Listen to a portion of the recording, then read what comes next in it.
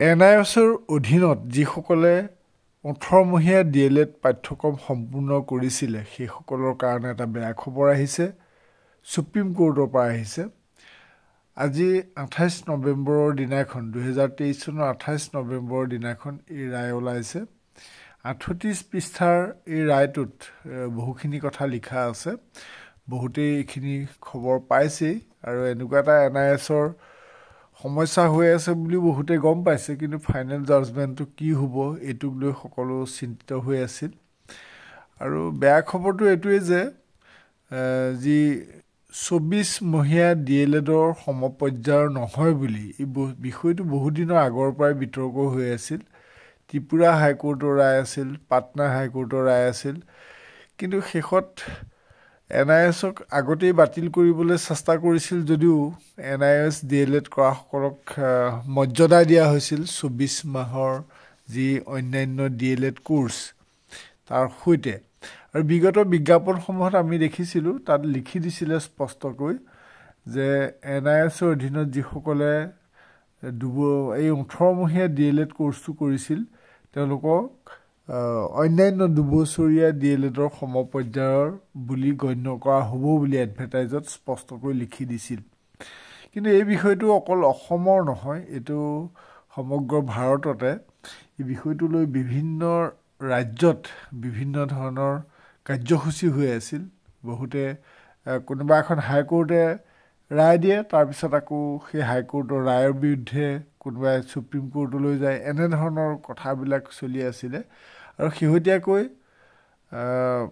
উত্তৰাখণ্ডৰ হাইকোৰ্টৰ এটা ৰায়ৰ বিৰুদ্ধে গৈ ছুপ্ৰিম কোৰ্টত এইটো গোচৰ চলি আছিলে। আপোনালোকে স্ক্ৰীণত দেখিছে। এতিয়া supreme court of India civil ইয়াতে যিখিনি কথা লিখিছে বহুত দীঘলীয়া কথাখিনি।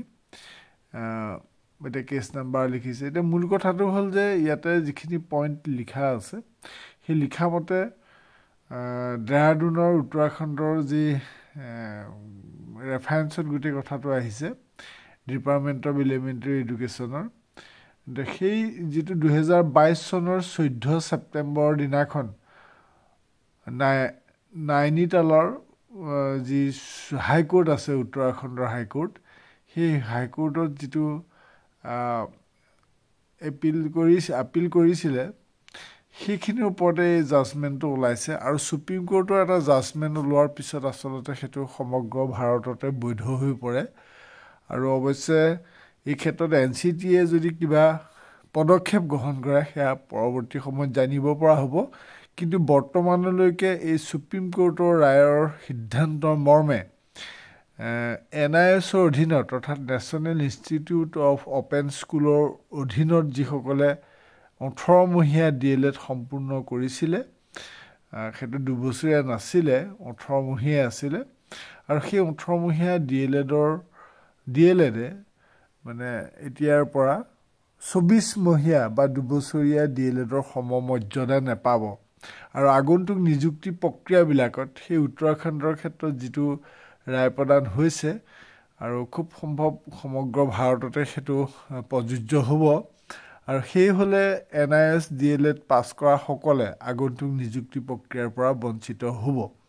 অৰ্থাৎ এতিয়া N I S D El এডখিনিৰ কাৰণে এইটো এটা খুব বেয়া খবৰ। তেওঁলোকে যদিহে আগন্তুক পাৰ্ট এল পি বা ইউ পি নিযুক্তিৰ ক্ষেত্ৰত যদি বঞ্চিত হয় তেতিয়াহ'লে তেওঁলোকে পুনৰ হয়তো ডি এল এড কৰাৰ মানে এতিয়া আৰু মানসিকতা নাথাকিব বা বয়সো নাথাকিব। আৰু এই ক্ষেত্ৰত বহুতেই ইতিমধ্যে এন আই এছৰ অধীনত ডি এল এড সম্পূৰ্ণ কৰি চাকৰি কৰি আছে। আৰু অসমত ক্ষেত্ৰত কি ব্যৱস্থা হয় সেইটো আমি পিছতহে জানিম। কিন্তু দেখা গৈছে যে বি এডক যেতিয়া এল পিত এল পিত এপ্লাই কৰিবলৈ নিদিয়া কথাটো ছুপ্ৰিম কোৰ্টে সিদ্ধান্ত দিলে সেইটোৱেই বাহাল হ'লগৈ। গতিকে ছুপ্ৰিম কোৰ্টৰ ৰায়টো ৰাজ্য চৰকাৰবিলাকে মানি ল'বলৈ বাধ্য। যেনেকৈ এল পিত বি এডক বি এড উত্তীৰ্ণসকলে নোৱাৰিব কেৱল ডি এল এডসকলেহে পাৰিব। আৰু ডি এল এডৰ যি চৌবিছমহীয়া বা দুবছৰীয়া কোৰ্চ সেইসকলেহে পাৰিব। এতিয়ালৈকে S C R T O' D এলৰ ক্ষেত্ৰত এইটো কোনো ৰায় প্ৰদান হোৱা নাই। আমাক বহুতে সুধিছে যে এছ চি আৰ টিৰ অ' ডি এলৰ ক্ষেত্ৰত এইটো সমস্যা হ'ব নেকি? কিন্তু সদ্যহতে ৰায়টো S C R T O' D এলৰ ক্ষেত্ৰত নহয়। ইয়াতে যিকেইটা পইণ্ট উল্লেখ কৰিছে ৰিজাল্টত ফৰ্টি থ্ৰী আৰু ফৰ্টি ফ'ৰ পইণ্টত সেইমতে N I S D El এডৰ ক্ষেত্ৰত যিটো অভিযোগ সেই অভিযোগ মতে সেইখিনি দুবছৰীয়া নহয়। তেওঁলোকে সমমৰ্যাদা নাপাব নিযুক্তিৰ ক্ষেত্ৰত তেওঁলোকক অধিকাৰ দিয়া নহ'ব ইত্যাদি বিষয় লৈ যিখিনি উত্তৰাখণ্ডৰ হাইকোৰ্টৰ ৰায়ৰ বিৰুদ্ধে গৈছিলে ছুপ্ৰিম কোৰ্টলৈ গতিকে তেওঁলোকেই জয়ী হৈছে। অৰ্থাৎ N I S D El Ed এক প্ৰকাৰ ক'বলৈ গ'লে ছুপ্ৰিম কোৰ্টে নিযুক্তিৰ ক্ষেত্ৰত বাতিল কৰিছে। এতিয়া আটাইতকৈ ডাঙৰ সমস্যা আহিলে এন আই এছৰ অধীনত ডি এল এড কৰা সকলৰ কি হ'ব? আমি বিশেষকৈ অসমৰ পৰিপ্ৰেক্ষিতত ক'ম যে ইন ছাৰ্ভিচ টিচাৰ বহুতেই এন আই এছৰ অধীনত ডি এল এড কৰিছিল আৰু তেওঁলোকে কোৰ্চটো ওঠৰমহীয়া নকৰি তেতিয়াই চৌবিছমহীয়া আচলতে কৰিব লাগিছিল কাৰণ বহুতে বহু সমস্যাৰ মাজেৰে গৈ নিজৰ জিলাৰ পৰা গৈ বেলেগ বেলেগ জিলাত গৈ ইয়াৰ কিছুমান কোৰ্চ কৰিব লগা হৈছিল কিছুমান ৱৰ্কশ্বপ কৰিবলগীয়া হৈছিল বহুখিনি কষ্ট হৈছিলে। আৰু তাৰ বহুতেই চাকৰি পালে আৰু যিখিনি অৱশিষ্ট থাকি গৈছে চাকৰি পাবলৈ যিখিনি বাকী আছে সেইখিনি ক্ষেত্ৰত এতিয়া ডিগ্ৰীটো অবৈধ কৰি দিয়াৰ লগে লগে নিশ্চয় এটা সমস্যাৰ সৃষ্টি হৈছে।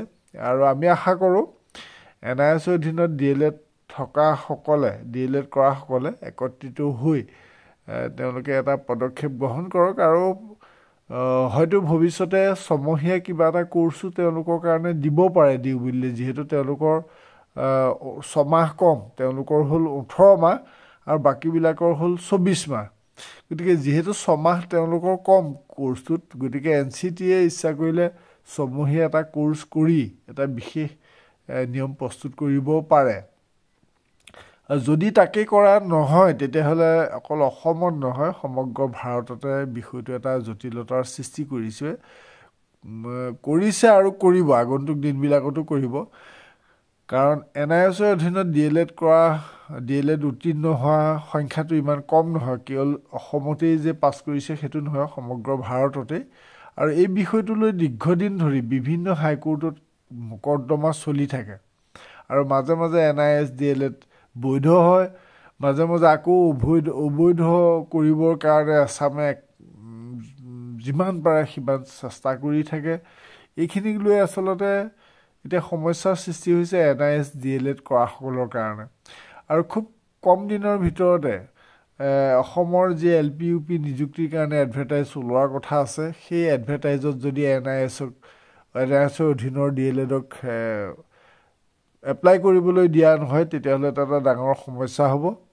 মই ভাবোঁ এন আই এছৰ অধীনত যিসকলে অ' ডি এল মুডত ডি এল এড কৰিছিলে তেওঁলোকে খুব সোনকালে শিক্ষামন্ত্ৰীক লগ ধৰিব লাগে।